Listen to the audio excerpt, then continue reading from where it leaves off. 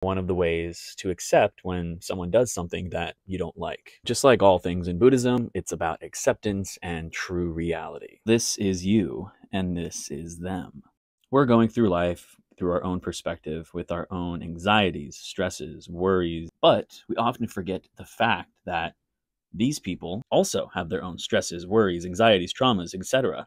And they also see the world through their own eyes. We share this in common. And like I mentioned before, we look at the reality in Buddhism. And the reality is is we're human and we can be delusional. It's not about excusing somebody, but rather accepting that they are human and just like us, trying to figure this life thing out for themselves. This acceptance is the only thing that we can do to end our own mental suffering. The acceptance of reality. The truth is, things are going to happen in our lives that we can't control and that we don't like. But if you can acknowledge the truth that everyone is just going through their own experience, you're going to be practicing one of the highest forms of selflessness there is. From there, meeting that person with love and compassion is going to spread more good, positive, loving energy into the world.